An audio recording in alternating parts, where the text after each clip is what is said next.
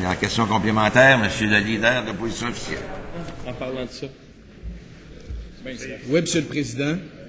Ce qui est clair, c'est qu'on a respecté la mise en garde que vous avez faite. J'ai demandé à la ministre des Finances s'il y avait un rapport interne sur l'obtention du crédit d'impôt.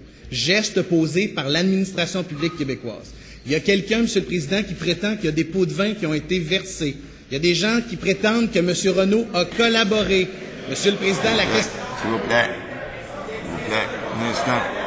S'il vous plaît. S'il vous plaît, alors. Je demande d'être très prudent sur ce fait-là.